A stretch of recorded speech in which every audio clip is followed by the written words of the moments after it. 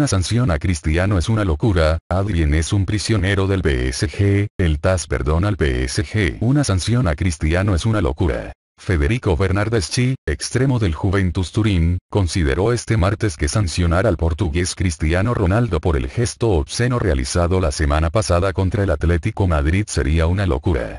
La UEFA abrió el lunes un expediente para barajar una eventual sanción a Cristiano, que celebró el 3-0 contra el Atlético, llevándose las manos a los testículos de manera evidente, imitando y enfatizando un gesto parecido realizado en la ida por el técnico del Atlético Madrid, el argentino Diego Pablo Simeone. Por lo de la sanción, creo que no hay que comentar nada.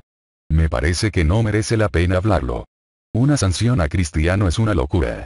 Fue una celebración, un gesto, afirmó Bernardeschi, en una rueda de prensa organizada en la concentración de la selección italiana. Creo que al final todo terminará bien, al menos lo espero para nosotros, agregó el internacional italiano. Veronique Rabiot. Adrien es un prisionero del PSG. La madre y agente del jugador acusa al club parisino de maltrato.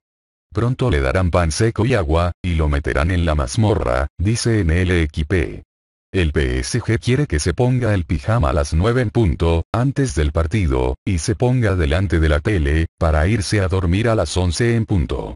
Veronique Rabiot, madre y representante del centrocampista del PSG Adrien Rabiot, que sigue en el punto de mira del FC Barcelona, denuncia en una entrevista en el diario Equipe que el club parisino tiene a su hijo prisionero. Veronique Rabiot protesta por la decisión adoptada por los dirigentes del PSG de apartar a su hijo del equipo y le defiende de las acusaciones que ha recibido por su vida nocturna y especialmente por haber sido pillado en una discoteca tras la eliminación del equipo parisino frente al Manchester United. No pretendo dar pena a la gente diciendo que Adrien no está bien, somos púdicos. Solo puedo decir que él lleva mal, muy mal todo lo que está pasando, afirma la madre del jugador.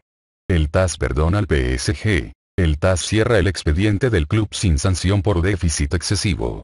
El club se vuelve a librar de una penalización y asegura que siempre respetó las reglas. El PSG, club que ha coqueteado con las sanciones por supuestas irregularidades con el fair play financiero, ha salido impune por las grandes cantidades de dinero invertidas en los fichajes de Neymar, 222M, y Kylian Mbappé, 180M.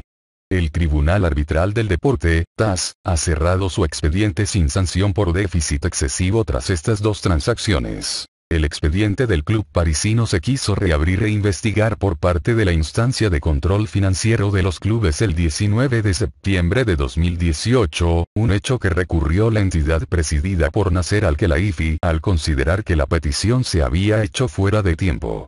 El líder de la Ligue 1 no tendrá restricciones en cuanto a incorporaciones de jugadores ni tampoco económicas, pero deberá cumplir con sus obligaciones financieras debidamente, pues estará bajo investigación.